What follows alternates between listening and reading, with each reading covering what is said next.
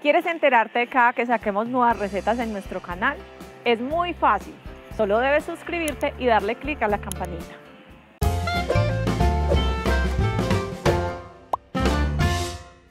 Hola a todos, ¿cómo están? Espero que estén súper, súper bien. Yo soy Cristina y hoy vamos a preparar un delicioso postre peruano el turrón Doña Pepa. Es un tradicional postre eh, que se consume mucho en las fiestas del Señor de los Milagros. Y bueno, recuerden que muchos de estos productos los puedes encontrar en Latin Market. Y ahora sí, vamos con los ingredientes. Para la masa de nuestro turrón Doña Pepa vamos a necesitar mantequilla, harina, yemas de huevo, agua, ajonjolí, sal y anís. Para la miel o el caramelo que vamos a utilizar vamos a necesitar azúcar, clavos de olor, canela, panela, piña, manzana, limón, naranja y agua. Y para decorar yo voy a utilizar unas bolitas de colores, unas grajeas, y ustedes pueden adicionarle eh, bolitas de diferentes tamaños o gomitas, bueno, lo que más les guste. Y ahora sí, vamos con la preparación.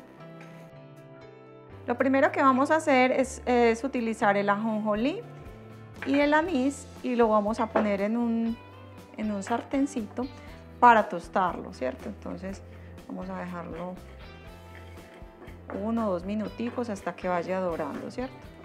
Entonces ya tenemos aquí el ajonjolí doradito con, con el anís, entonces lo vamos a poner en, un, en una tablita y vamos a utilizar un rodillo para aplastarlo un poco y que suelte como todos esos aromas, ¿cierto?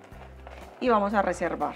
Continuando entonces con la masa, vamos a agregar la mantequilla y este paso lo pueden hacer con la mano, con una batidora, pues como les parezca más fácil. Yo voy a empezar como con un tenedor y voy a agregarle poco a poco todos los ingredientes. Vamos a agregarle la sal, las yemas y continuamos mezclando. Entonces vamos a agregarle eh, la harina poco a poco y el agua la vamos a tener y vamos a ir agregando también poco a poco. La masa nos debe quedar muy muy suave, así como plastilina. Miren la masa como quedó suavecita, ¿cierto? Como bien trabajable, como una plastilina. Entonces la vamos a, poner en un papel de estos chicle o papel film, lo vamos a envolver y lo vamos a llevar a la nevera por mínimo 30 minutos. Si la pueden dejar más tiempo está bien, pero mínimo 30 podemos partir la masa en dos. Entonces hay dos formas de, hacer los palitos, que ustedes más o menos tomen o hagan bolitas como de, varias bolitas del mismo tamaño, las pueden pesar inclusive más o menos de 40 gramos o pues más pequeñas y le hacen así, así, así, pues digamos que la alargan, la alargan, eh, digamos que la amasan por un buen rato hasta que quede el palito delgadito y redondo. Digamos que esa es la forma tradicional, digamos que la más eh, demorada, ¿cierto? Entonces, ustedes ya deciden cómo hacerlo. Es un palito más delgado que este porque se amasa pues mucho más, por mucho más tiempo. La otra forma, que es como yo la voy a hacer, me parece más sencilla, es cogiendo la masa y estirándola con el rodillo. Es hacer como un rectángulo y ya con la ayuda de un cuchillo o de un cortapizzas vamos a hacer palitos más o menos como del grosor de un dedo. Miren cómo hice pues como los palitos, así con la técnica que les mostré, con el, con el los corté y ya eh, digamos que los, los amasé para que quedaran redondos. Entonces hice grupitos de a tres porque es más fácil la armada así en grupitos de a tres, pero los pueden hornear de forma eh, individual también. Entonces vamos a llevarlos al horno eh, por aproximadamente 15 o 20 minutos a 170 grados y, los podemos voltear si vemos que no están dorados por el otro lado. Y bueno, hagamos eso y enseguida empezamos a, bueno, todavía no armar, a hacer la miel. Entonces vamos a coger ya con las frutas bien bien lavaditas en una ollita vamos a agregar eh, la piña picada así con cáscara y todo, la manzana picada también puede ser grande, así pues digamos que esto, la idea es que se cocine. Eh, vamos a agregarle el jugo de limón y la cáscara también, el jugo de naranja y la cáscara también, los clavitos de olor, la canela, la panela, pronto utilizan una ollita más grande, y el agua. Y vamos a dejar que esto hirva y después de que hirva lo vamos a dejar como eh, que, que, se suelte la fruta todos sus sabores aproximadamente 20 minutos a fuego medio bajo. Bueno, ya acá tenemos la infusión de todas estas frutas eh, que estuvo durante 20 minutos, entonces vamos a apagar y con mucho cuidado vamos a, mm, cernir, vamos a vaciar esta agua en otro recipiente. Entonces para continuar con nuestro proceso de caramelo utilizamos ya pues toda el agua saborizada que, que ya habíamos colado y vamos a agregar el azúcar. Y vamos a dejar hervir, hervir hasta que si ustedes tienen un, termómetro de cocina, hasta que el caramelo más o menos esté a 120 grados. Listo, ya tengo acá el caramelo, creo que ya casi en su punto.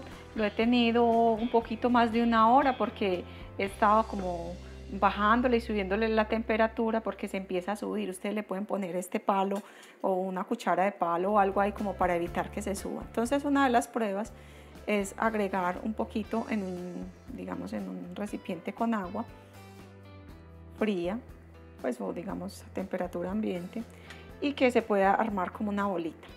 ¿cierto? Entonces acá ya vemos que tiene como una consistencia de una bolita. Puede, digamos que es fácilmente eh, posible armar la bolita. Entonces ya en este punto ya tenemos listo nuestro caramelo y vamos a empezar a armar nuestro turrón Doña Pepa. Ya deje reposar un poquito el caramelo, entonces vamos a comenzar a armar nuestro turrón Doña Pepa. Entonces ustedes lo pueden hacer en un recipiente pues normalito o pues yo lo voy a hacer aquí en una bandeja. Vamos entonces a, poner como una capita,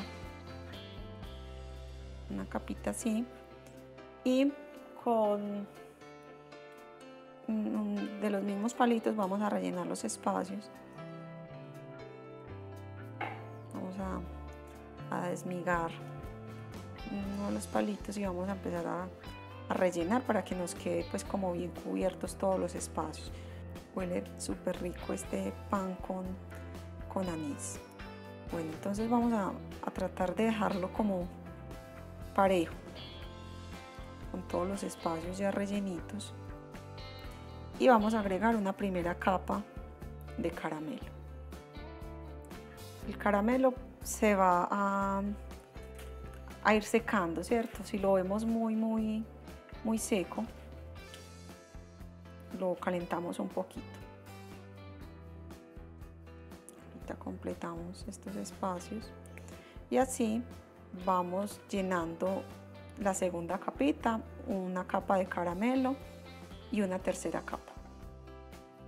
Más o menos así va quedando las capitas. Ahora pulimos pues con un cuchillo, cortamos todos los verdecitos. Entonces vamos a agregar una tercera capita de palitos. Miren que así, cuando uno los hace como de a tres, pues es más fácil la armada. Aquí no necesitamos otro. Y hacemos lo mismo. Llenamos todos los espaciecitos con los mismos palitos. Listo, ya entonces por último vamos a decorar, echarle las, las bolitas de colores las gomitas o pues las grajeas que, que tengan como para decorar. Bueno, me cogió la noche haciendo esta preparación porque es bastante laboriosa, pero bueno, realmente vale la pena. Los aromas, los sabores son deliciosos y bueno, espero se animen, saquen el tiempito de prepararla y nos vemos en una próxima receta. ¡Chao!